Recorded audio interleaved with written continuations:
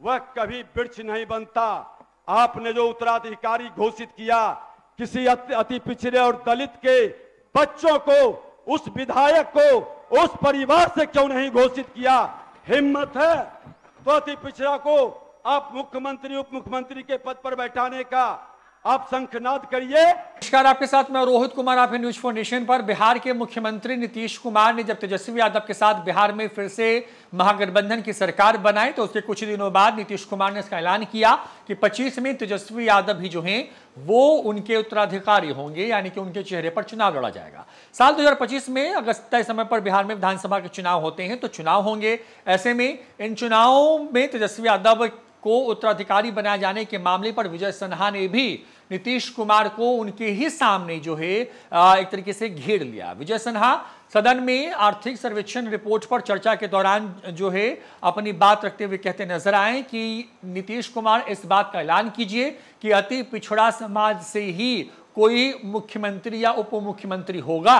तेजस्वी यादव जो है, उनको आपने उत्तराधिकारी बना दिया है। आप सबके हिस्सेदारी की बात कर रहे हैं। तो ऐलान क्यों नहीं कर रहे हैं कि बिहार में जो अगला मुख्यमंत्री होगा, वो अति पिछड़ा समाज का होगा उप मुख्यमंत्री भी उसी समाज का होगा। ये जो है विजय सिन्हा कहते हुए नज़र आया इस पूरे मामले पर जब विजय सिन्हा अपनी बात करे तो तो तेजस्वी यादव, नीतीश कुमार जो है आपस में एक तरीके से कहें कि उनकी बात को सुनते नज़र आए। हालाँकि जैसे ही तेजस्वी यादव का नाम लिया गया तो इस मामले के सामने आने के तुरंत बाद जो है सदन में हंगामा होता नज़र आया। तो उसके बाद विजय सिन्हा ये कहते नज़र आए कि देखिए, यही तो बेचैनी है इन लोगों में कि किस तरीके से अति पिछड़ा के हक की जब बात होती है तो ये बेचैन हो जाते हैं। क्या कुछ हुआ सदन के अंदर में? विजय सिन्हा ने किस तरीके से तेजस्वी यादव के उत्तराधिकारी बनाए जाने के मामले पर सवाल खड़े किए हैं? सुनवाते हैं आपको। आप शोरगुल करिएगा। महोदय मैं एक चीज़ और कहता हूँ।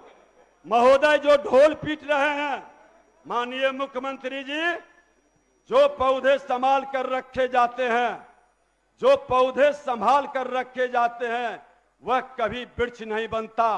आपने जो उत्तराधिकारी घोषित किया, किसी अति पिछड़े और दलित के बच्चों को, उस विधायक को, उस परिवार से क्यों नहीं घोषित किया? हिम्मत है? तो अति पिछड़ा को आप मुख्यमंत्री उप मुख्यमंत्री के पद पर बैठाने का, आप शंखनाद करिए, घोषणा कीजिए। अरे भारत अरे भारत, अब देखिए, क्या बेचैनी है। हमने तो हमने तो अति पिछड़ा को महोदय, हमने तो अति पिछड़ा को, हमने अति पिछड़ा को उप मुख्यमंत्री रेणु देवी को बनाया, हमने नेता प्रतिपक्ष हरीश साहनी को बनाया। इन सारी क्वालितों के बाद आपकी पुस्तिका में उद्देश्य नाम का कोई चीज़ नहीं है। अब आपके माध्यम से सदन का, सरकार का उद्देश्य भी जानना चाहता हूँ, कहना चाहूँगा महोदय।